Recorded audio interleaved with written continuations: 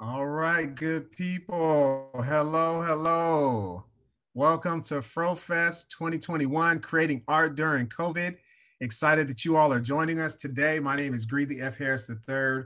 I'm the Center Director for the Center for Black Cultural and Student Affairs, affectionately known as the CBCSA. We want to welcome you all. I think we have a great program and a great show for you all today. We have some amazing films that folks worked hard on. Um, and I think you all are really going to enjoy it.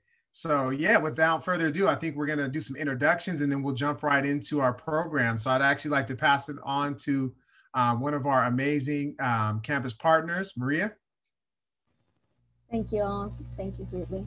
Um, well, thank you all for joining us this evening on our fourth annual event. Um, you know, every year we host FroFest, Films Reflecting Ourselves, where we recognize Black writers, producers, directors, and actors from USC. Normally, we would host this event at USC Fisher Museum.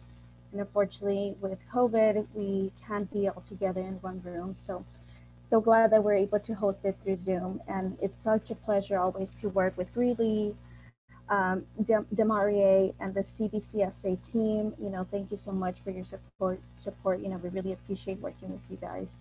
Um, and also I want to thank all the students, you know, the amazing work you guys created. You know, it's something that I'm always looking forward to. And, you know, I hope that you guys keep creating and we would able, will be able to normally host this event next year at the Fisher. Now, um, I think I want to take it, um, I'd like to welcome all of you and hand it over to um, Desa Philadelphia from the School of Cinematic Arts and really quickly, um, the School of Cinematics Arts is also one of our partners in crime when creating this amazing event. Um, so actually, I know we're waiting for some folks to log in, but we want to actually uh, highlight our amazing uh, student facilitators. So can we start with Taylor introducing yourself, and then we'll go Jay and Ambi. Hey, hey, everybody hear me all right? Greeley thumbs up if you hear me. Okay, cool. I just want to make sure. So I'm Taylor. I'm a member of AACS. If anybody uh, wants any more information on that, feel free to message me. Um, but yeah, I'm a member of African American Cinema Society, and I'm a Starkey working on my last year of of my program, my master's program. So I'm heading out of here in May, um, and I'm happy to be here and excited to uh, screen these uh, screen these films and get into it with the creators. And I'll pass it over to Ambi. Hello, my name is Ambi. I'm currently a cultural ambassador at the CBCSA. So yes, I am a facilitator and I'm really excited uh, to show these films to you so we can learn more about the directors and those who were part of these productions. And I'll pass it over to Jaya. Hi, my name is Jaya Hinton. I am a junior studying business administration and screenwriting. I am also a staff member here at the CBCSA, um, and I am really looking forward to getting us started with these films. All right, good people. So before we start uh, screening our films, we do um, a tradition that we have within the CBCSA is we always do a land acknowledgement. Even though we're virtual, uh, if we were on campus, we would uh, do a land acknowledgement. So we want to do that really briefly. So just bear with us. Um, so as we gather here today, we acknowledge that we are on the traditional land of the Tongva people. For thousands of years, the Tongva people lived on this land that we are gathering today and were considered the most powerful indigenous peoples to inhabit the Los Angeles basin.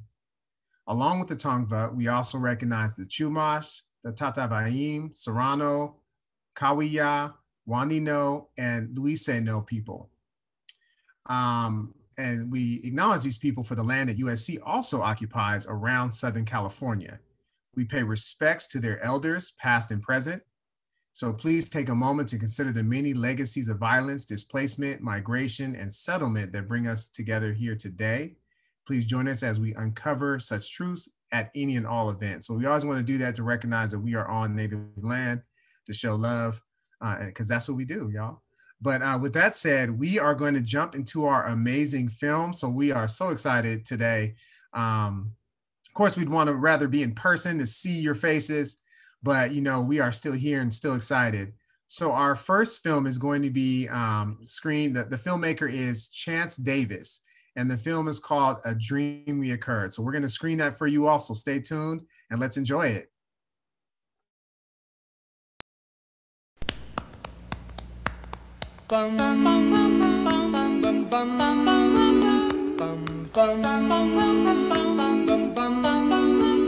Mr. Sandman, bring me a dream. Make him the cutest that I've ever seen.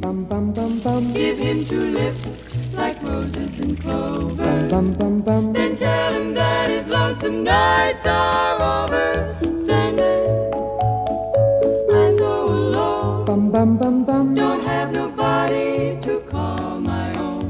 Please turn on your magic beam. Mr. Sandman, bring me a dream.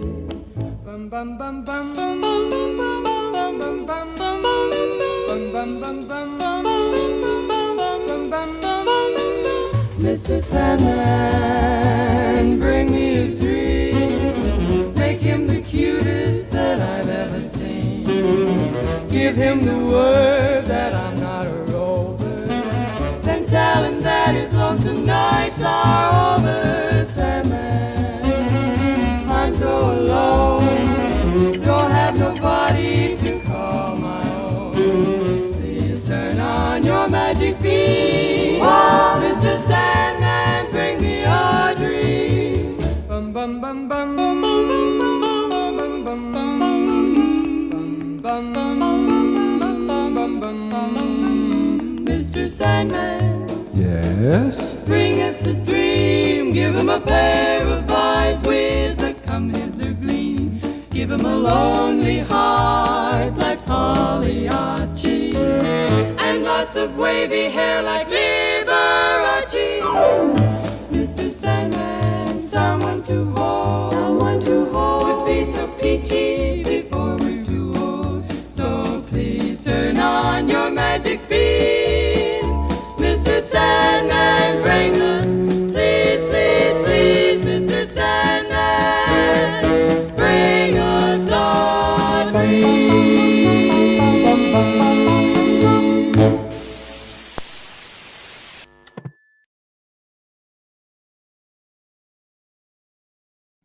That was fabulous. Thank you so much. Um, again, that was Chance Davis's A Dream Recurred. Um, and now we are going to screen Luke Harris's The Memory Palace.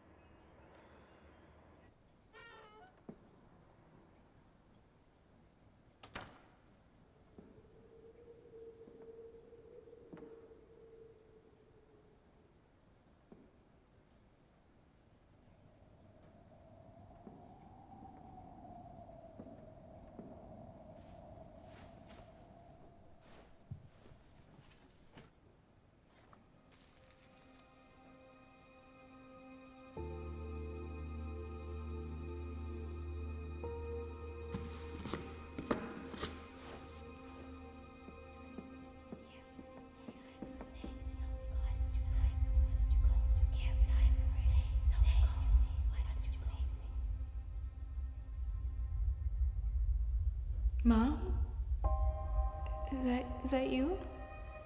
Look at me.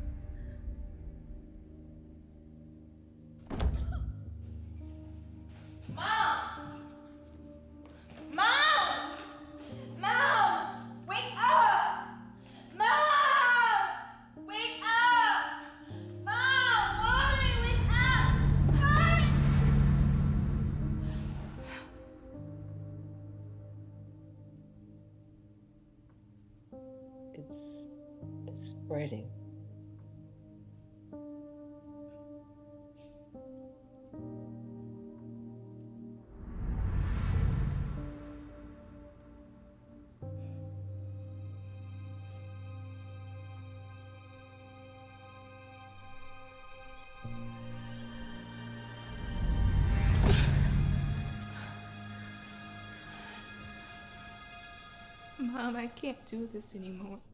I can't. I don't want to be in this house and watch you die. Look at me.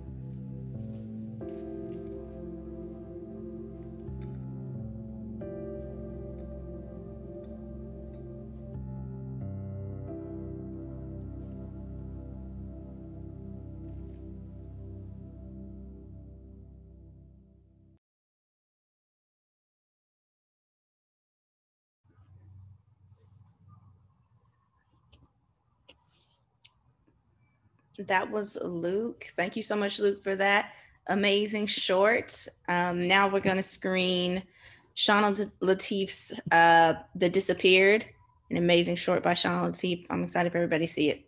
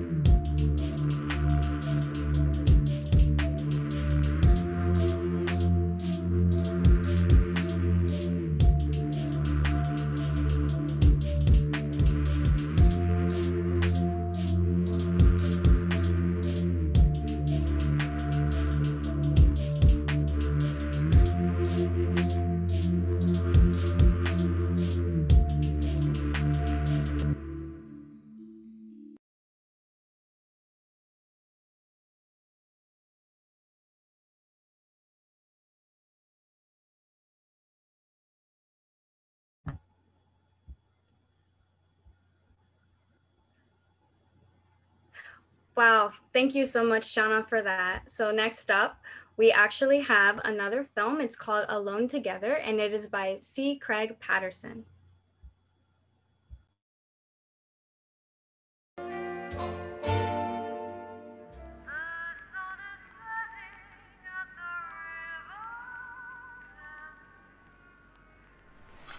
Hey, Miss Anna.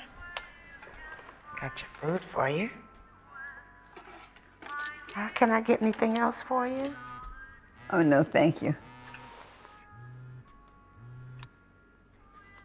Hello? Hi, Miss Irene. Returning your call. Um, how is my mother? Well, her fever is... Can I come see her?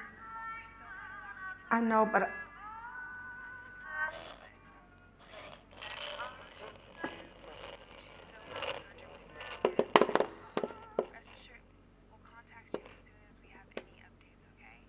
I understand. Thank you.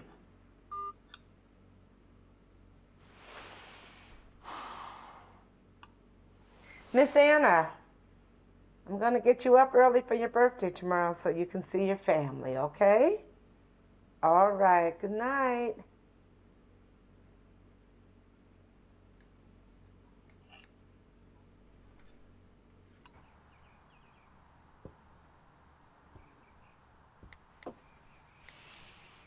Miss Anna, your family's here.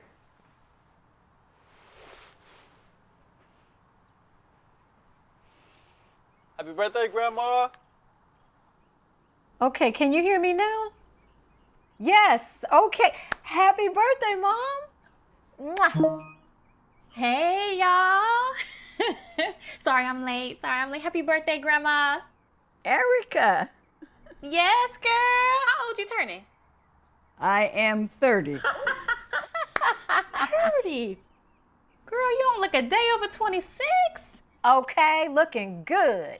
Mm. yes. That's my grandma, okay? That's my mama. oh, my goodness.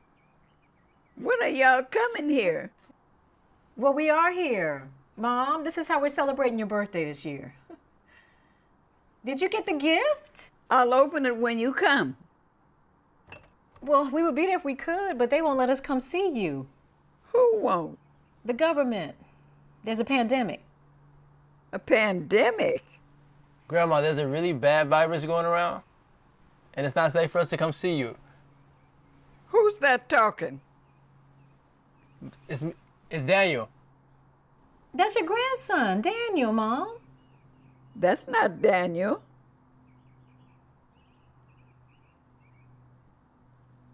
Oh, it's it's probably the quarantine beard. Look, I'm sorry, y'all. I gotta go, but I'll be right back. Okay? Yeah, that's probably it, Daniel.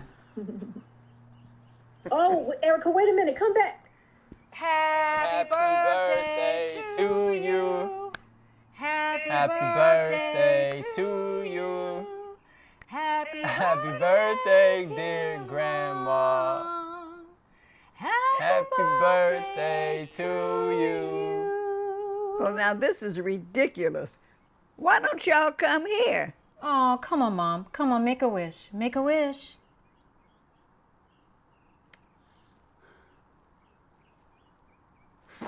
Yay!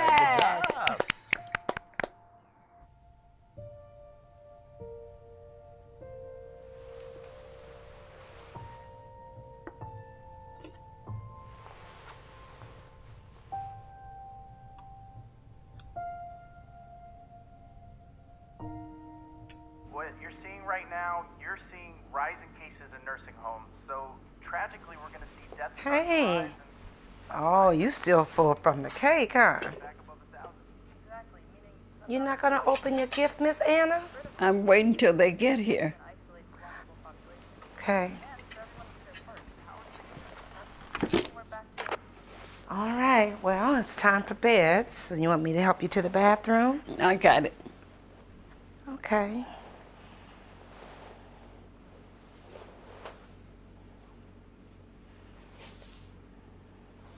Let, me. I said I got it. Okay.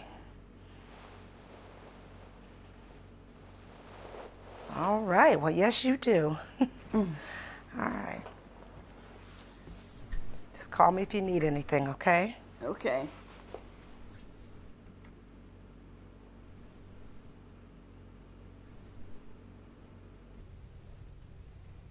Mom, can you hear me? Where are you? Oh, I'm sorry. I do not know how to get myself on this screen. oh my goodness. Hey, Grandma. Oh my God. Look who shaved for you. Who? Grandma, you don't recognize me? That's Daniel. Your grandson? That is not Daniel.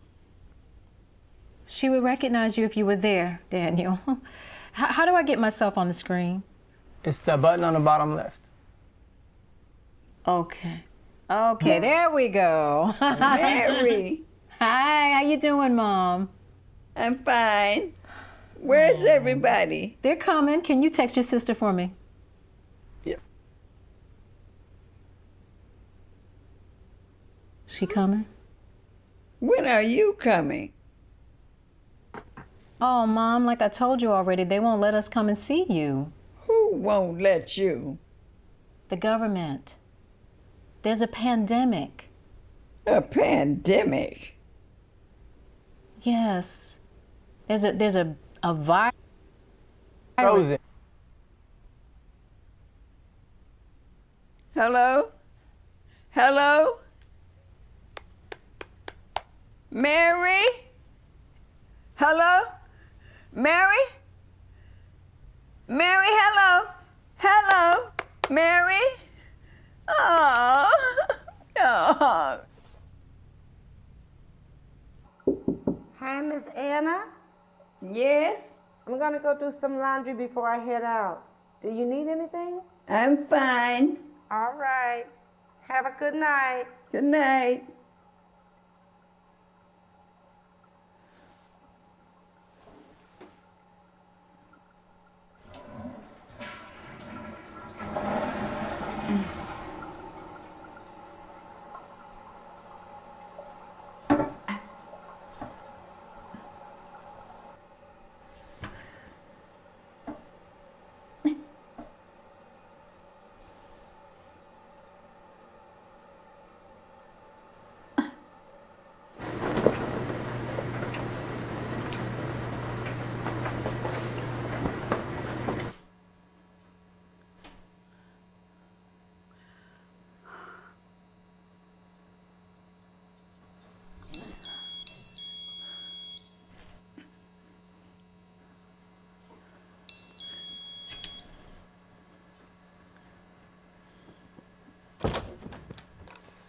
Oh, Miss Anna.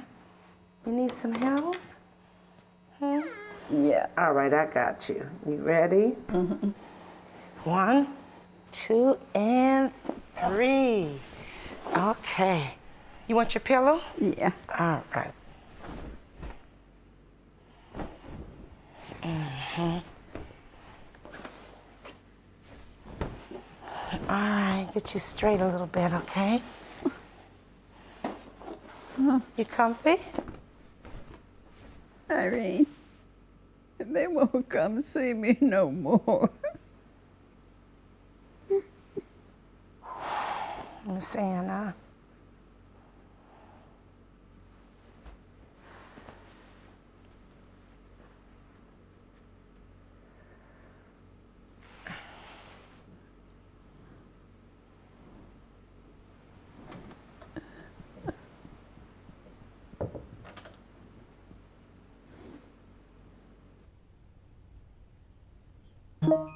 Hi, Mary. Hey, Mom. Looks like I finally got the hang of this thing, huh? you look good. Thank you. Where's everybody? Oh, well, looks like it's just going to be the two of us today. Erica and Daniel say they love you and that they miss you.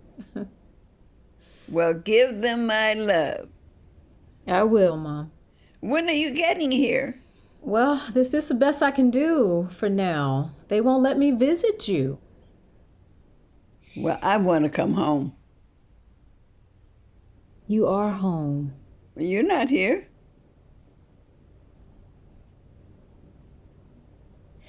Well, when this is all over,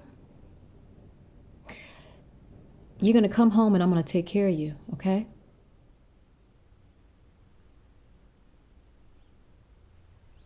Wish I could give you a big hug right now. Me too. I love you.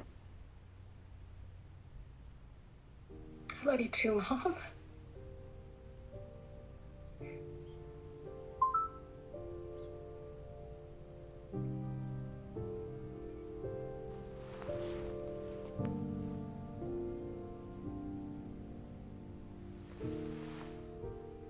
Hi, Mom. How are you feeling? I know. I know. Oh, I do. I wish I could be there too.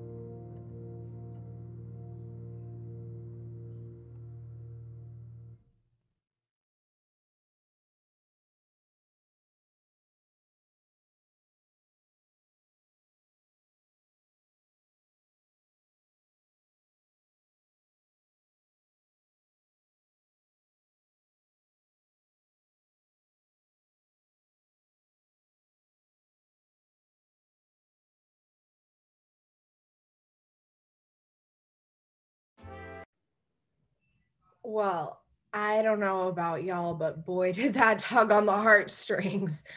Um, amazing, amazing film, Craig. Thank you so much for sharing that with us. Um, again, that was Alone Together by Craig, C. Craig Patterson. Um, that was absolutely, absolutely beautiful. Um, next, we are going to screen um, the, uh, Trey Young Stevens, It's Not Just a Name. When I started applying for colleges and started trying to get into the workforce is when my name became an issue. My name is Shaquita Dominique Williams, and this is my story.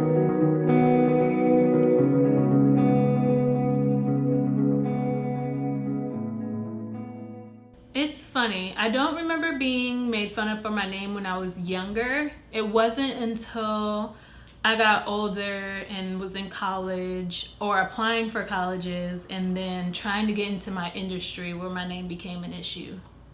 I think it makes a lot of sense for so many black people to have such unique names because already our last names aren't ours. So to make up something different like a Shaquita or I used to know Sederica, like there are so many names to make up something like that, it, it belongs to us. It doesn't belong to someone who gave us our names.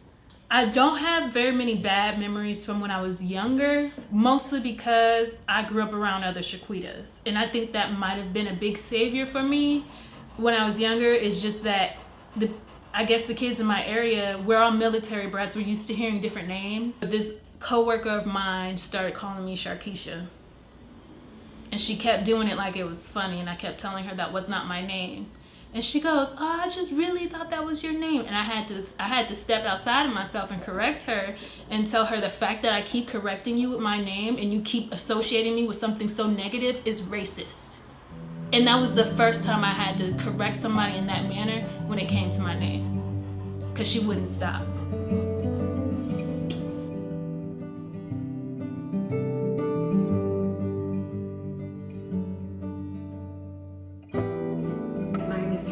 Stevens, and I am the owner and director of Church Child Care Center Inc. and also Church Child Care Plus. We provide early childhood services for infancy through age 12. One quality that we have is we like to create an environment where our children are treated as though they're at home. So our motto is your child's home away from home. We want to uh, provide the best intimate and nourishing care that we possibly can. We do have an all-inclusive program. Um, we strive to have diversity in our program as well, and we also try to be sensitive to um, cultural backgrounds. And so, typically, when children enroll into our facilities, if they come as an infant, um, sometimes they may have a nickname, um, and we may pick up those same habits of calling them by their nickname if that's what the parent um, calls them by. Because again, we're creating an environment where the child is in a place where we consider it's their home away from home. So we want to um, make it as intimate as possible. And so we try to be respectful, respectful of what the parents are calling the students by and, and uh, maybe enforce what they would like for us to call them as well. I think they're pretty comfortable. Um, but we again want to be respectful of their identity and we want to also be respectful of the name that the parent chooses for them to be called.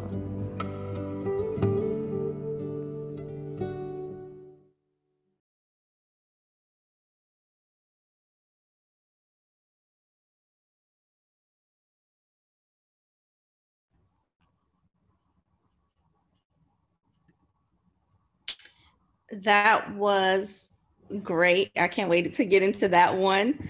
Um, that was Trey Young Stevens. It's not just a name, it really isn't. Um, and next up, we're going to show Mickey Turner's Two Paths, One Direction. And get that queued up for y'all. The year is 2020. The hoax, more commonly known as the coronavirus, continues to impact all aspects of our lives. Protests and rioting by groups such as Black Lives Matter and Antifa have led to an increase in crime and violence in our communities, and a radical movement to destroy our nation's Uh-uh, core uh-uh, conservative uh-uh. values. Let me turn this our- off. Now, if you really want to know what happened during 2020, watch this.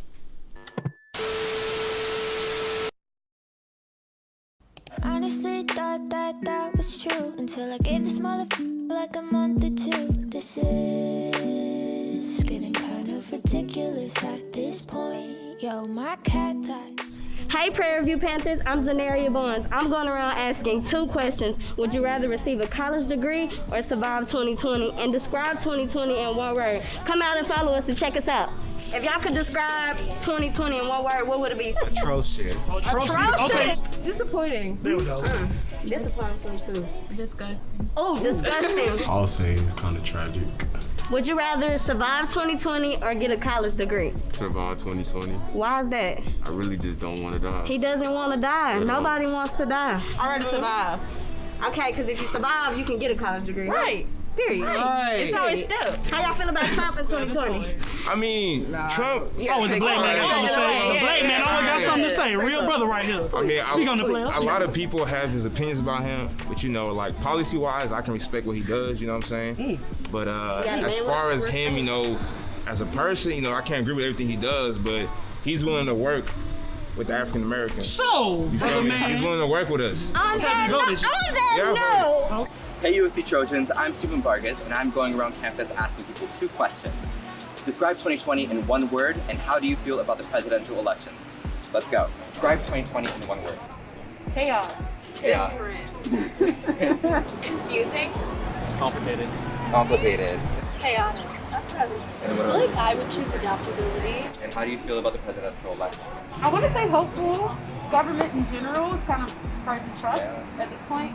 There's just extra stress when it really shouldn't have had to be. Right. wouldn't say Biden is my uh, first choice, but definitely uh, a lot better than last. Personally, I have no hatred, but it's more like, you know, it just didn't make sense for that president to go for another four years. So personally, I like how Joe Biden is president. Relieved that Biden is not. Also, really happy. Great. Now that you've gotten a taste of how Generation Z views 2020, let's take a closer look through the lens of a PWI in HBCU and their experience in 2020.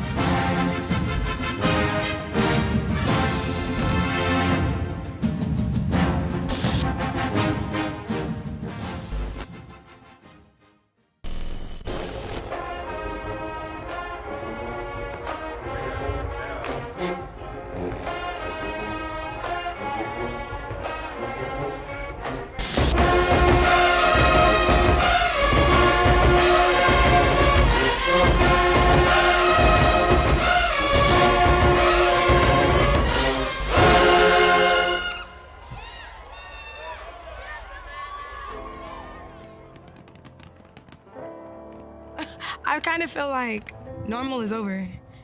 That normal is over because I know from this day forth, people are always gonna be cautious. I mean, we're going through an era. It's, I call them unprecedented times. These are times no one in this in the whole world has ever seen.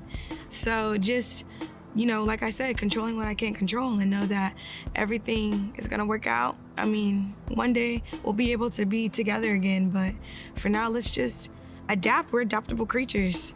We can adapt to anything. Yes, my dad actually tested positive for COVID in March. And this was around the time I was still at PV and I had just got back home. He had been coughing for a while, but it wasn't, I wasn't thinking anything of it. He didn't either, but he got text, tested anyways. It was really sad and kind of heartbreaking because it was the strongest, the strongest person in our family, you know, the head of the, the head of the household. What really gave us motivation to keep pushing through was whenever the doctors were saying that he experienced the worst of his symptoms before we actually started quarantining he didn't know. So he didn't experience too much of the pain that a lot of people are experiencing and I'm just thankful for that. Coming into COVID, I didn't really take it very seriously. When it, uh, when COVID initially started, um, when I went back to work at Walmart, uh, I thought it was just going to be a regular spring break. Then they told us we had another week off, and once COVID hit and like really forced people to like stay inside and quarantine while at work, you know, I seen people that I was working with catch COVID, but I didn't really think nothing of it because I just thought I, I trusted my immune system to the point where like I didn't really care. Like I wasn't trying to wear a mask. I wasn't trying to socially distance, none of those things. And then it kind of hit a little more when a close, very close friend of mine, well, actually, another person that got directed here, Cecily, when her father caught it, and I, uh, because our family background is kind of similar. So her dad does kind of the same thing that my dad does. So it kind of made it more personal for me. Being at home with family was very comforting. It did feel like I was back in high school a little bit um, because I didn't have as much freedom, which honestly I'm fine with because like during this quarantine kind of like lost little motivation sometimes. So having decisions made for you was kind of a bit of an easy way out that I found to be helpful sometimes. So my biggest forms of comfort of comfort in this time of uncertainty. God. And and my friends and my family, just the people that have been surrounding me. Um, I was gonna say food. I'm not gonna lie, food. Working on that. I'm a yeah, I am a Christian, and um, just during this time, like I've been very much, well, a lot more intentional about um, my relationship with God and my relationship with other people around me. I know this has been like a really hard time for pretty much everyone my age, and so really pressing into relationships and making sure that people feel loved and know that I'm around and there for them if they need prayer, if they need someone to talk to. there would be people that would ask like what time we closing? And the hours still the same like no we're closing at uh eight o'clock due to covid stuff. And they would just they give me a side eye. They would i got flipped off one time and it was actually really it was funny. But because I didn't think people took Walmart being 24 hours that seriously.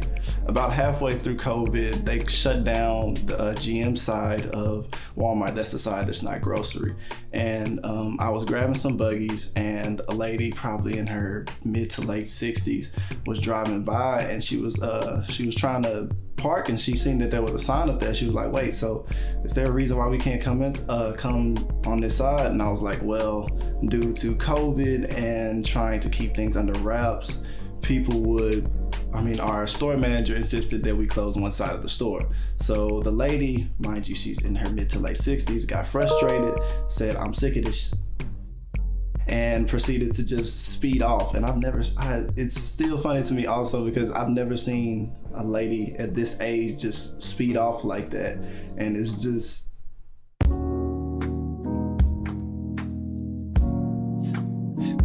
Okay, wow, this is so amazing. So, yes, I definitely um, attended the PV protest. And even before the protest, I attended George Floyd's memorial I think it was like a couple days before that. And then just seeing his body lay there, for me, it, it made it real. This was a, a real human being whose life was taken away just, you know, innocently. Like he, you know, he didn't deserve that. Leaving his memorial was kind of fueled up and actually more excited to now, you know, attend this PV protest and then still not truly having justice for Sandra Bland. Um, I came in with the expectations and anticipation of I'm, I'm here to be a part of history. I actually led and opened up the protest in prayer. And even in that, I think for me, that was my biggest takeaway or my biggest like a, like not accomplishment, but like a biggest moment for me the protest. And the first protest that I went to was the one on Fairfax Avenue, which was kind of the big one in Los Angeles, where a lot of the the police involvement happened. Um, so like there was a staged, or from what I uh, heard on Twitter, was like there was a staged police car um, that they had burning to like divert protesters and then make it seem like we were inciting the violence when they were inciting the violence. That one had a lot of pushback from the police. So I think that one was like the one that kind of impacted me the most and was like, okay, this is gonna like a, this is the beginning of like a larger revolution than like previous protests. Also like just being in the protest and being in that like space where police are throwing it, tear gas and rubber bullets. Yeah, that's how it really traumatized me. Well, I've heard a lot of people ask like, why does why is it now that there are all these protests and there all this uproar about everything happening with whether it's racial, whether it's political, whatever the situation is, like why is it so much now? And me and my family talked about this and we're like, it's because you don't have anything else to do. And now all of a sudden you can't go anywhere, you can't do anything. So majority of the time you're in front of your TV, you're in front of your phone, majority of the day. But it's like now you don't have anything keeping you from seeing it like to watch a police officer and i still haven't watched the full video because i refuse to. Like to kneel on his neck like you can't miss that because people have been being killed for a long time. The pol- the political system has been interesting i'll say that for a long time. So i think it's growth in the sense of realizing oh the things that we've overlooked or the things that we thought it died down it didn't die down to me, Black Lives Matter means um, not necessarily negating other lives. It's not saying we're more important. It's just saying like we are being attacked. We're being we're not being treated fairly. There's um, a lot of inequality in society right now, but like specifically for Black and Native American lives, I have noticed we get the sort of worst of the treatment. Um, like if people's, if you were in front of your house and somebody's, like your neighbor's house was on fire, you wouldn't call the fire brigade to hose down your house and your neighbor's house. They're the ones who are needing the assistance. And I see that as the same sort of scenario with Black Lives Matter. We're not saying we're more important, we're just saying shine more attention onto us for this moment so we can get the help that we need and the acknowledgement that we deserve to be put onto equal footing with other people.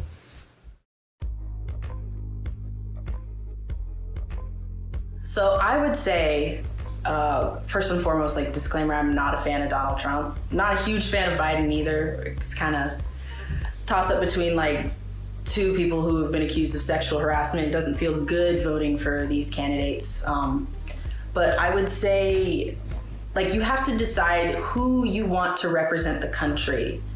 Um, I think Biden has good plans concerning the environment, concerning student loan debts. I think he can present himself well in front of other countries to the point where, you know, we could be taken seriously that's someone that I'm going to vote for because of those things. I don't think he's gonna get rid of racism, but I think he will do a better job at toning things down. Like everything is very like intense right now. People are um, racist, are being encouraged to be racist rather than trying to employ like a level of okay, why do you think like this? Like this is a this is your fellow citizen um, you shouldn't be thinking of them as lesser than. You should be, you know, encouraged to try to like uphold a level of like camaraderie with them.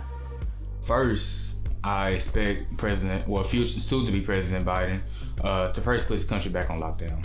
Um, I believe that he really wants to see a change with COVID cases decreasing, and I want to see like the health for not only just our age people but older people too, uh, to be safe. So that's the first thing I'll see him do.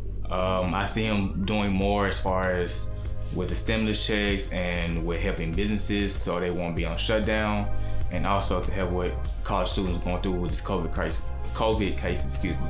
The world is going through a shift right now. And I'm, I'm not gonna lie, these presidential, these presidential elections matter. So definitely go out and vote. But at the same time, if you're gonna think that things are gonna change overnight, you're crazy.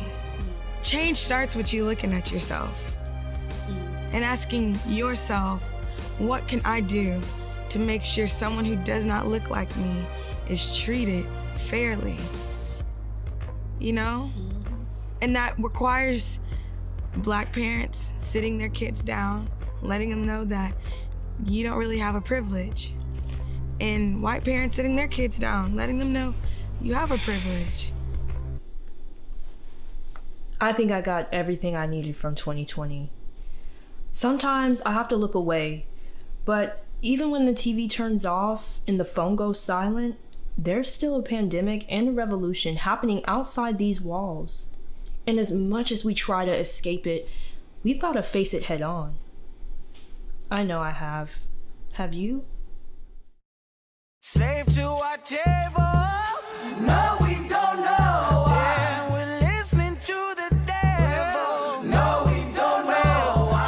really believe like kind of like um the caterpillar and the butterfly example, like in the cocoon. Like I really believe like by the time I hit January 31st, 2020, I'm gonna be like that butterfly that has sprouted out the cocoon.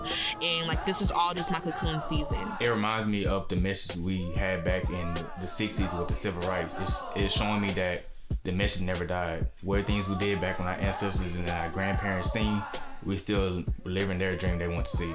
Yeah, that's how it feels to be. It feels like I'm not living in like my real life. 2020 has been wild. But for me, I just been saying I just want God's will to be done, and I want God to align my steps every step of the way, and I don't want to have to worry so much about what's going on.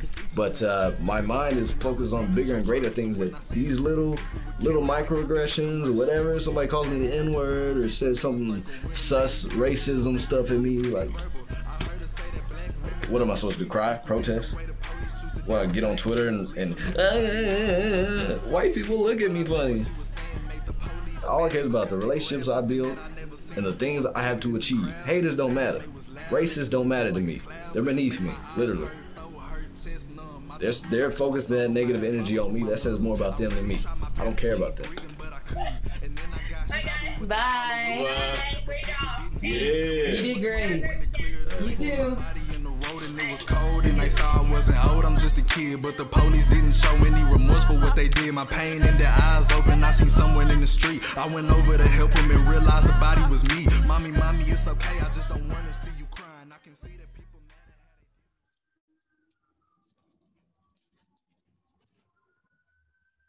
Hey, hey, hey.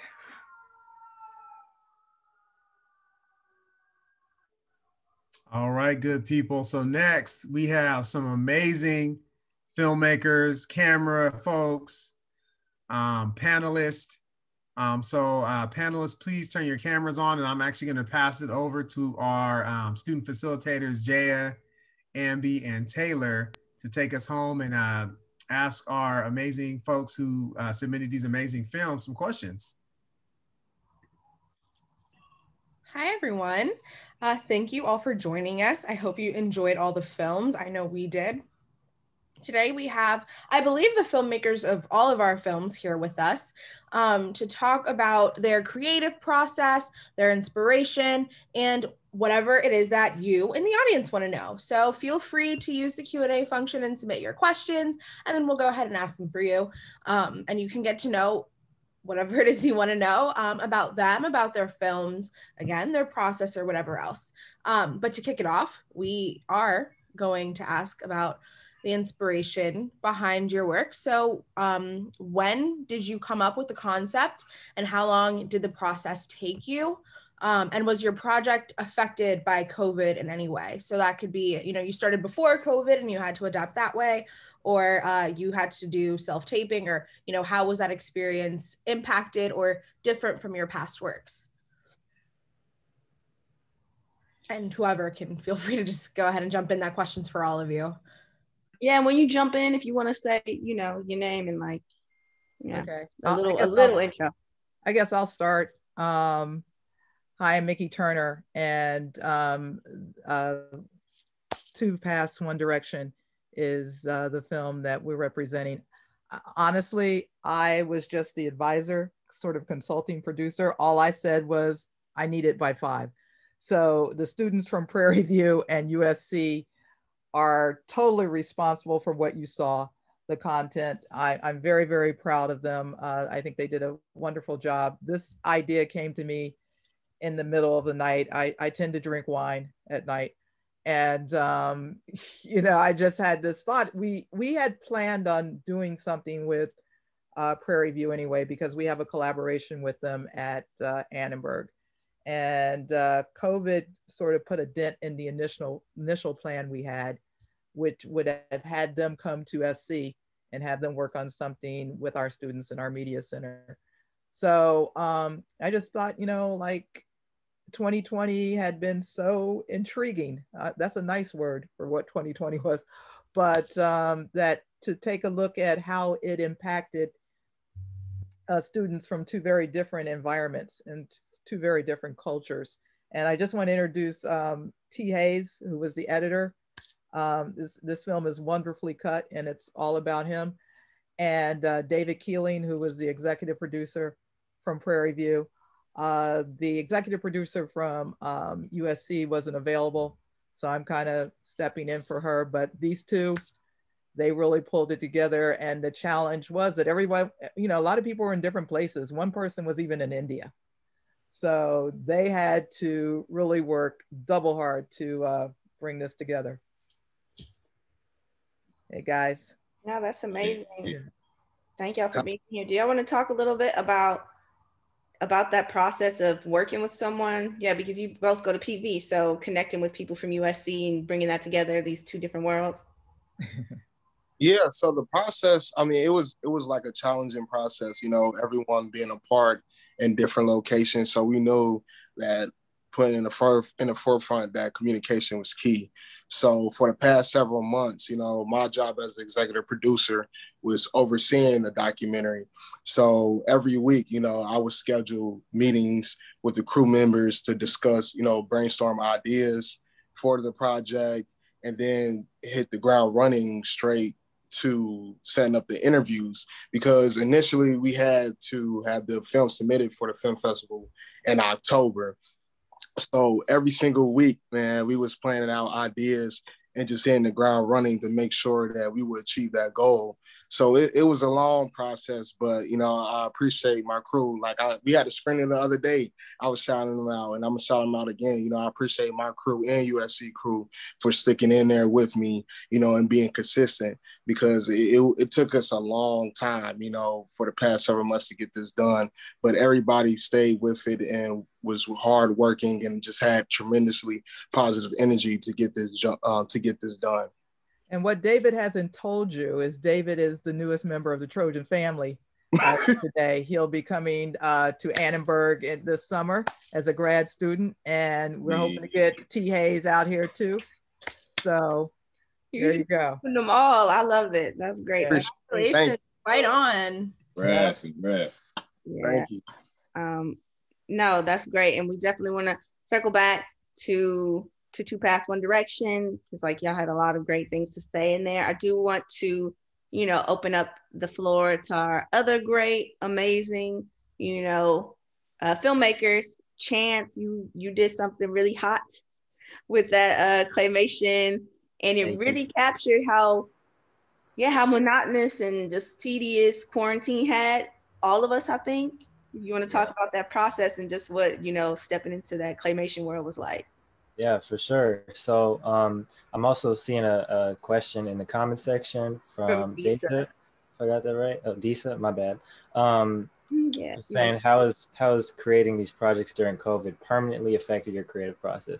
So I want to say for sure, you know, um, with all the quarantine like restrictions and everything, um, that is kind of the catalyst that got me back into animation because it's something that I hadn't really been doing very much of um, during college um, just because I'm too busy and like, you know, um, but now since we're all at home by ourselves, it really gave me that opportunity to dive back into doing animation. So um, that's definitely a permanent change because now I'm, I'm really into it, you know, and I'm, I'm definitely planning to do more animated stuff in the future.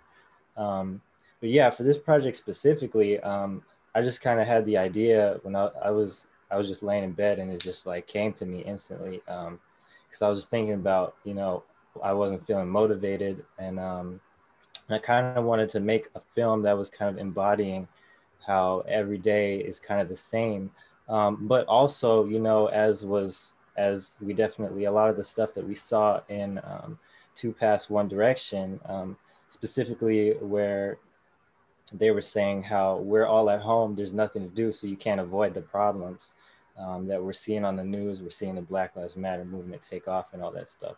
So I kind of also wanted to incorporate um, how, in addition with just dealing with the sameness of every day, we're also having in the background of our heads, um, you know, that added pressure of the pandemic exasperating existing uh, social issues. Um, so that's kind of where the inspiration from the dream sequence came in. No, yeah, that was amazing. I do want to open up to Ambi or Jaya if y'all want to, you know, hop in. I'm a long-winded USC student, so I'm like, yeah. yeah. yeah. Um, uh, I loved the claymation. I thought that was super cool. I've actually never seen anyone do a claymation before, uh, so that was super impressive. Um, and thank you for sharing your part of the process and how this has changed you, uh, hopefully for the better as a creative. Um, and uh, Shauna, I wanted to ask um, what your animation process was like since you um, you know you had a lot of drawings in there and they seem to be hand drawn that's my assumption i'd love to hear uh, you talk about it um, and were the, the faces that you drew because you you covered such a wide range of features um, you know you you really created a lot of different characters in those faces and and covered a lot of what our diaspora looks like. So were those real people? Did you model model those off of the women that went missing, or um, are those modeled after your friends, people you know, just faces in your head? I'd love to hear. Totally. Thank you. That's a great question. Um, so essentially, I'm like, like mostly a visual artist, but I decided to kind of start my descent into animation, and this was the first animation that kind of came out of that. And those faces are based of all like real children, real girls that went missing. So I spent the night previous to making that animation, scrolling through the missing children's databases and just kind of spiraling internally.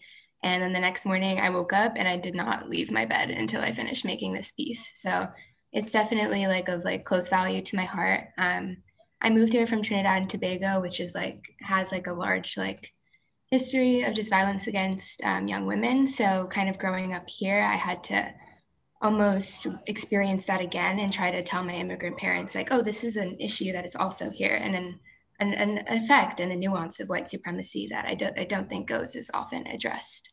Um, so that was the inspiration for the piece yeah that's um that's really interesting i didn't know uh that you came here from trinidad and tobago and i think that's that's something that's really interesting because the us sees itself as this like this haven right where nothing goes wrong. And sometimes it's almost hard to believe that this is something that's even happening here. Um and it's yeah and it, it's people don't pay enough attention to it. And usually what we see in the media about people who go missing aren't about the black kids. So i thought it was great that you um you know you brought attention to this issue that is really close to to all of us because of course none of us want that for ourselves our family or anything. So um it was it was really cool to see the statistics in that way. It was like really bite size and a really great way to share information. Yeah i think shauna's piece definitely reminds artists sorry Shauna, real quick and then just reminds artists to like watch out for your mental health because like i'm like i couldn't imagine just sitting here. You said you started to spiral but just sitting at a computer and like looking up all the bad things that happen to black women and children and then having to compile that like yeah if you want to respond to that. I think it's really good also to like bring awareness to that because that's not something that people talk about every day. You usually hear the the same types of stories about uh, what's happening in the Black community, but to even bring um, like attention to this, I felt like it was really powerful. So thank you for showing that. Of course, thank you both. Um, yeah, this was definitely like a new medium for me, like filmmaking and animation. So I'm glad I was able to kind of recontextualize a lot of my fine art with that because a lot of my work kind of deals with how we like memorialize victims of oppression and of in, like erasure and intentional erasure in the case of like the United States and just the extent of white supremacy here. So yeah, it was just important to me to utilize whatever platform I have in like a way that can kind of disseminate that information in like the most easily consumable way for the public. So thank you all for the kind remarks. I also have a question for uh, C. Craig Patterson about the Alone Together movie. So to me, I thought it was very creative and very powerful. It was even even got a little bit of tears from me because it was very uh, relatable that type of experience. So uh, what was it like uh, for you filming over Zoom and with COVID and just trying to get all of this together to tell a story such as this? I mean, uh, thank you first off for for everything. Um, it was easier than it sounds because the team was ready to do it right if that makes sense like everybody kind of signed on like we had to kind of like the the goonies never say die-ness to it like and we even every single uh hiccup that we ran into everybody was willing to, to roll with it the actors most especially so uh, but it was there was intense moments like little things like when you're not there anything goes wrong. Like uh, i remember at the end of every day we would finish uh, we would finish the day and it would take 14 hours to, get the footage uploaded because the the internet was slow or whatever. And then and we it was always like a thing like that so it's like the small things that that kind of throw things off but everybody was willing to roll with it. So it was cool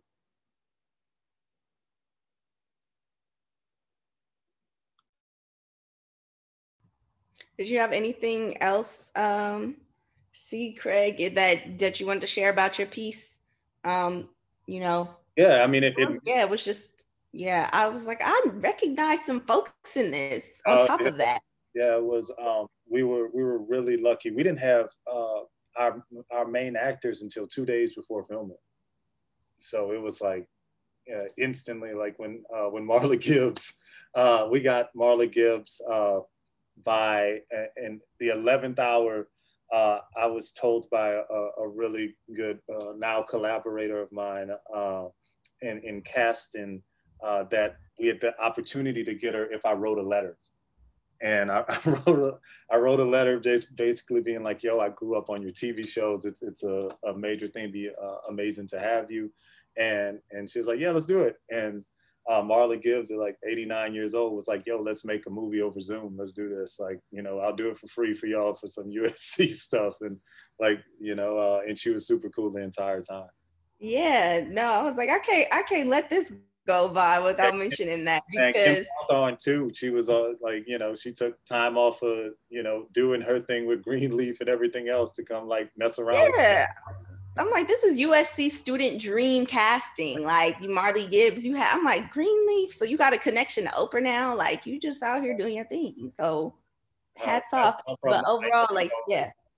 Amazing, amazing. And again, doing stories about people that don't get their voice heard and are forgotten about um, I'm like a big champion of like older women need to have their stories told because like you turn a certain age and people are like you don't have a story anymore and I think that's just when women start to get interesting kind of not to play myself but like yeah like that's it. And um, of course need to like talk about what happens just putting older people in homes like that it's just so like it just doesn't make sense to me. My mom already knows she's coming to live with me.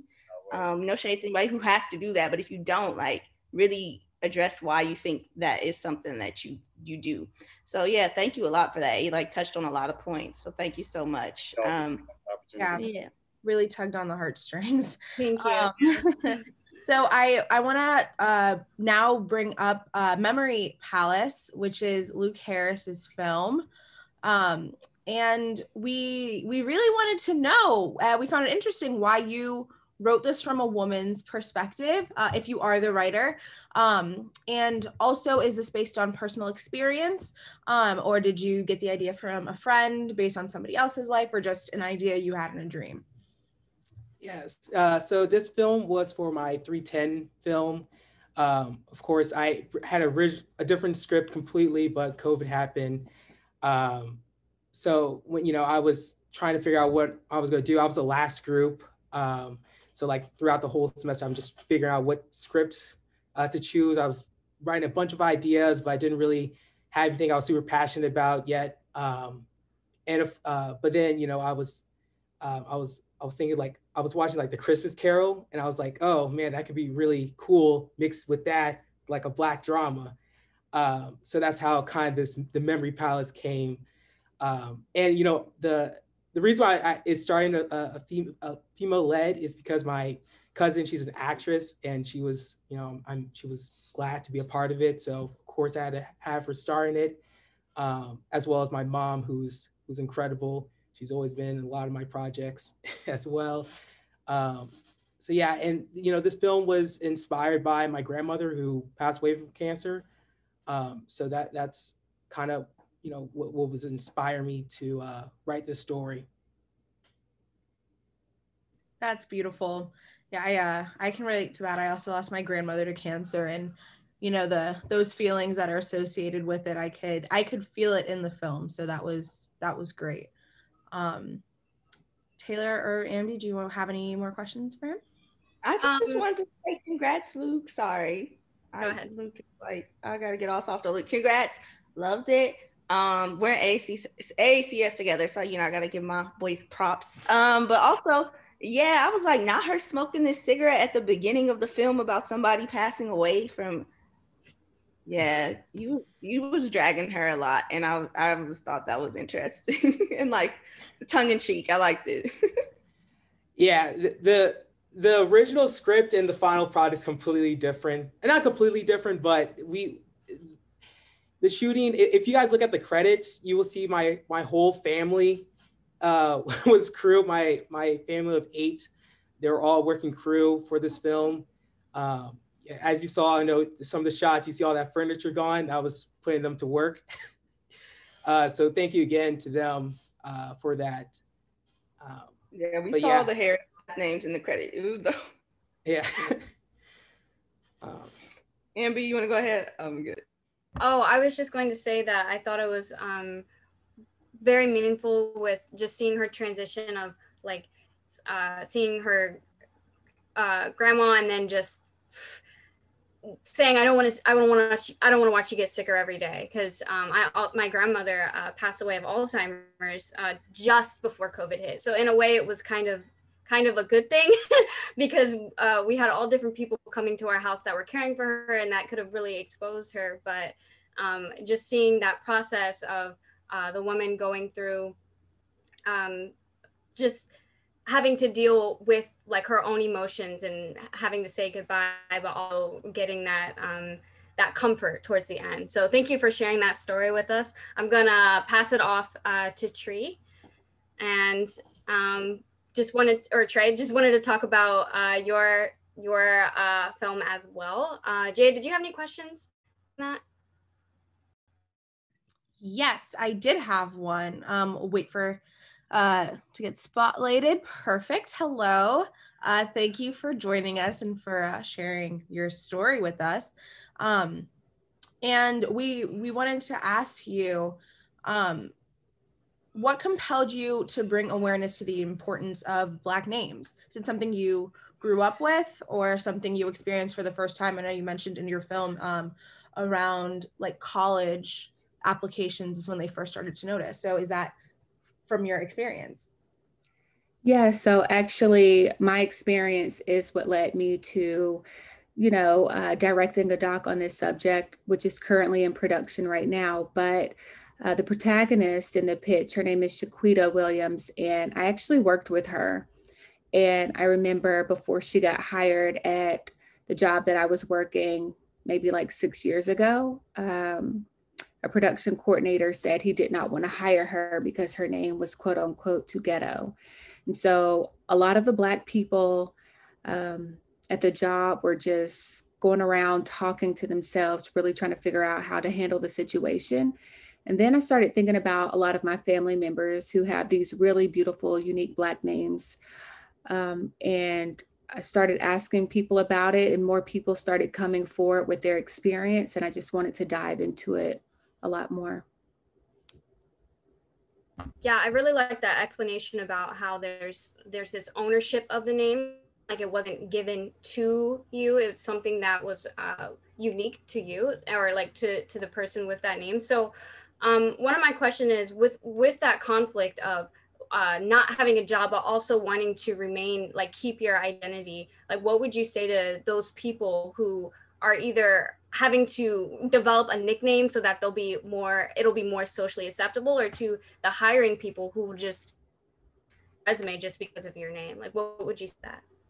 What would I say to the hiring people or what would to, I? to both. So to Okay. the person yeah and the hiring so actually uh, while filming this doc i've ran into people who have actually changed their name. I have a subject her name is her name was laguanda and she was called iguana laguanda the iguana.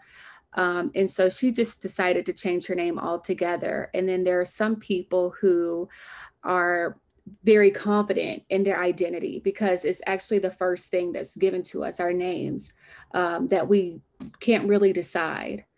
Um, and so I have another girl, her name is Fulani Bahati. Her last name was changed because her father was like, Look, we're stripping everything that was of you, and we're going to create a new identity and empower you through that. And so I want people who are possibly looking to hire someone Black with a unique name to understand cultural references and meanings and how our names uh, give us strength or they come from something that's deeply rooted or possibly um, paying homage to people in our family. For example, my name is Deanna um, and it comes from my grandmother and grandfather. So, yeah, that's what I would say to them. Yeah, that's that's beautiful. I had um an African American studies teacher in high school who was very adamant about making sure you corrected people when they said your name wrong. Um, because he always said that your, you know, your name is your identity and you know it's important because slave traders used to strip us of it. So making sure that, you know, you hold your name dear and like don't let people call you by the wrong name which is something that i'm still working on um, is is really important. So i i loved that you brought attention to that. And i also have a family name. My middle name is luciana. It's named after my i'm named after my great grandmother um, and that's important to me. It's a part of my history. Um, and i will never know her but i get to be connected to her through that name.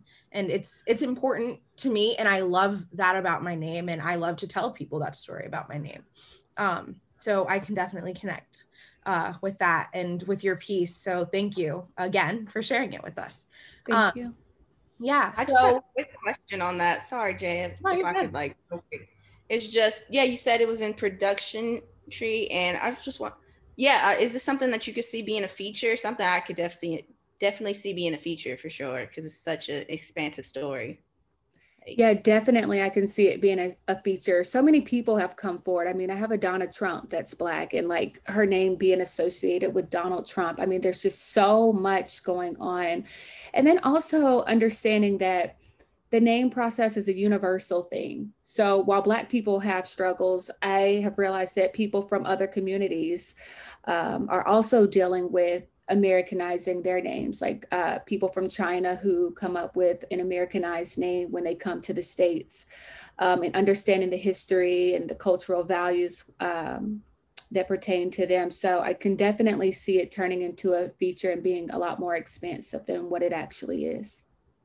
Yeah, it's a great, great conversation, and yeah, I think exploring too if, it, if it's whether it's a cultural disconnect or like, um, I mean, it is systematic, but like the cultural disconnect, like even if people in hiring practices do understand, and this is a whole nother conversation, but I'm intrigued now. Is like um, even if they do understand, and some of them probably do, but like them not caring. So like even if you know my friend whose name is Lashonda, it's like it doesn't have any meaning. It just is Lashonda, and and people getting to a space where they're comfortable with just names being like, this is my name. There's no meaning. Like Yeah, and speaking of her name being LaShonda, I actually found out that a lot of names that start with La and Da actually uh, stem from Louisiana and the uh, Creole people and the language and all of that stuff um, because it's French. So when they add the La in front of Lakeisha or LaShonda, it stems from French language. So I think that's beautiful. I would love to hear. it. Yeah, you got to make this a Cool. feature. Thank you a lot for that.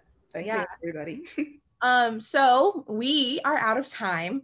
Um, thank you everyone so much for joining us at this year's Fro Fest.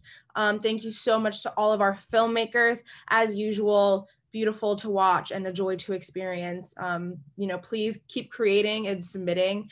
Um, shout out to African American Cinema Society. They're always a great partner in this as a student organization. And for those of you who are students here, uh, and interested in in exploring film more, um, AACS as well as Creative Experience, also known as CREX, are two great places to start.